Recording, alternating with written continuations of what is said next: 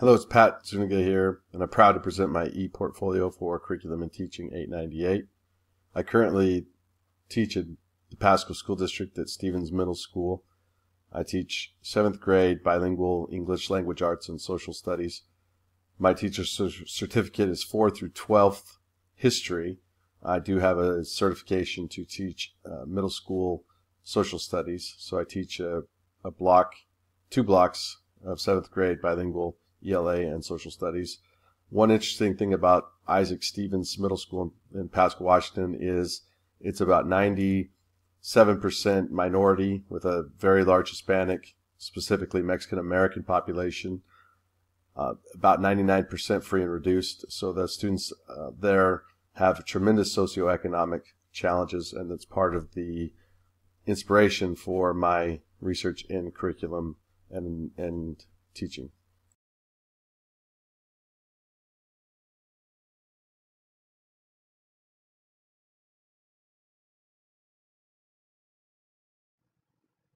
When I began to research my curriculum theory, I wanted to address issues like apathy, lack of motivation, motivation unwillingness to engage, um, choosing to fail, all of those which could potentially impact social mobility.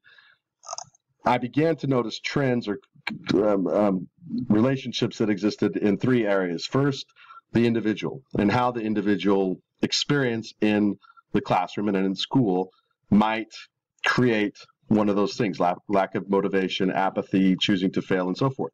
I also looked at character. Now, this approach was based on a study I did a few years ago where I surveyed students in a school of about 700 students. And of the sample I got, which was about 85% sample, uh, about 80% of students considered themselves an athlete, but only 17% played school affiliated sports. This led me to believe that self perceptions of students didn't fulfill or didn't match with how people viewed them. Um, and so we, when we talk about character and what people think they are, um, it may not match up with who they who they really or how they really feel or how they really think. And despite the fact that we run great programs that teach character, uh, we don't provide structures that reinforce or build meaning for those.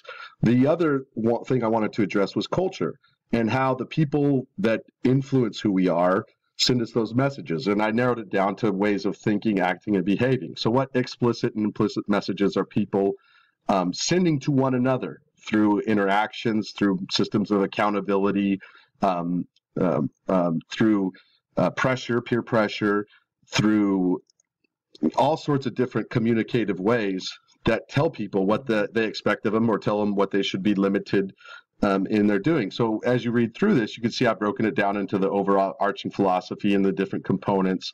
Um, the hope for outcomes, which is the collective identity. It's not so much of what you think you are, but or what a group thinks they are, but what other people think you are. Um, and then finally, it goes into my biography, and this is the kind of the overarching biography. But each supporting um, link has more information. The one thing I'm I did include is my capstone project, which is based on my experience here at Stevens Middle School um, and how I ran parts or how I tried parts of this theory last year. Um, and then I also have it broken down by standards, and you can see all of those, which I'll highlight in here in a little bit. And then a little bit of a brief uh, biography about myself. So anyway, um, again, I hope you enjoy this presentation, and uh, please stay tuned for more information about the self-empowerment curriculum theory.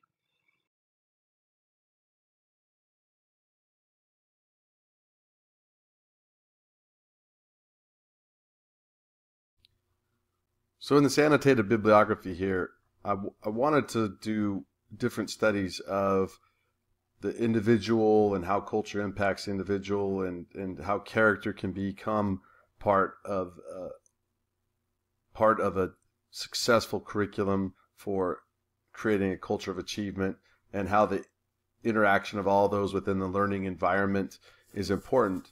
But first I needed to understand the individual and motivation. And this is where I came across the concept of differentiation. Now, I, I think that most teachers would do differentiation or do do differentiation uh, on their own. They may not have titles for exactly what they they are doing, or they may not even know they are doing it. But this artifact here shows the different ways that I differentiated. Now, the the way that I began my exploration into differentiation is was using Howard Gardner's theory of multiple intelligence.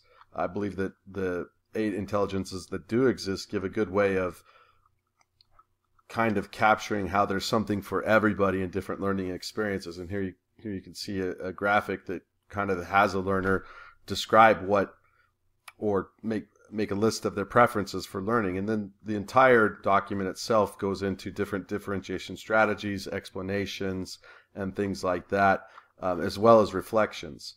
Uh, so this document in itself is one of the ways that I like to show that the individual is at the beginning and they're more than a statistic. They're a person. And this kind of led way into the human economy in that if we view the, the learner as a human. If we can teach them to be a human, then they can act. Then we can access human emotions like determination, uh, self-value, uh, persistence, perseverance, aspirations, things like that. All positive things that help students become uh, not only better learners but more successful people.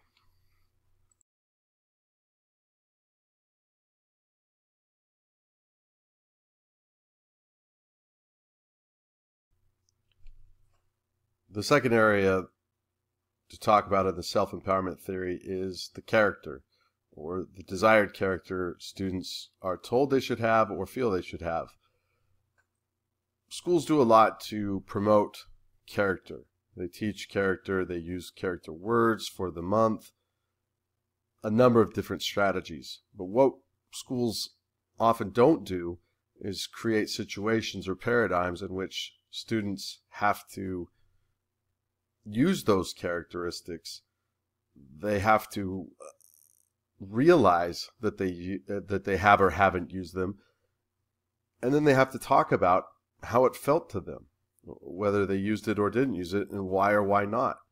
Uh, so, in this picture here, we have this seventh grade student who stayed after class. And to many, it might just look like punishment, or it might look like a consequence, or it might look like a student that is just trying to finish something. The story is of a young boy who told me at the beginning of the year that he was scared to take the state mandated tests. He was scared because he might fail. So, the important takeaway from that is that he had aspirations.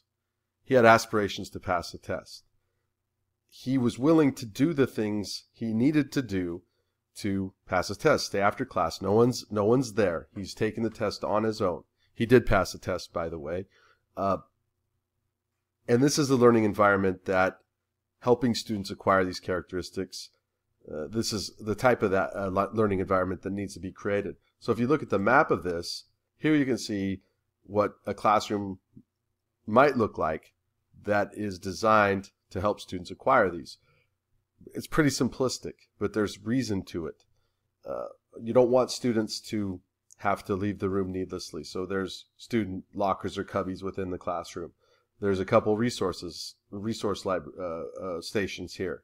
Uh, there's a computer on wheels for technological integration. Even a classroom paper and printing supplies so students can print in class. A whiteboard or projection screen. All of those are pretty matter of fact. You may or may not have those, but what do you have?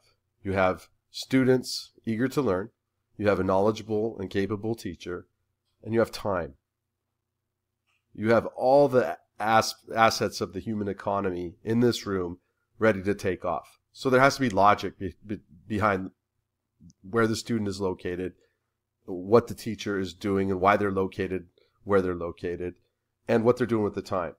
Um, so here you can see the different areas or different explanations for all of the placement of the items. I even go into as much detail as such things as pencil sharpeners right here.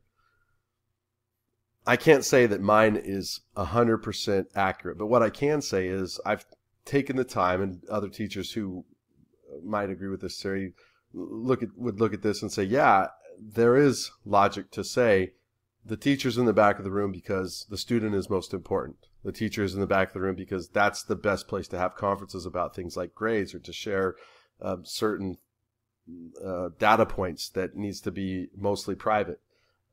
There's I even go so far as to consider that capable teachers have predictive thinking. So you know, troubleshooting needs to be something that we just is ingrained into our day to day. That we're going to have problems with technology, and to minimize the impact it has on teaching and learning, we need to be ready to troubleshoot, or at least have a seamless process for troubleshooting to occur. All these things need to happen within the learning environment for students to realize that they are acquiring characteristics that will set them up for success in uh, a career or in uh, a college or just in life in general.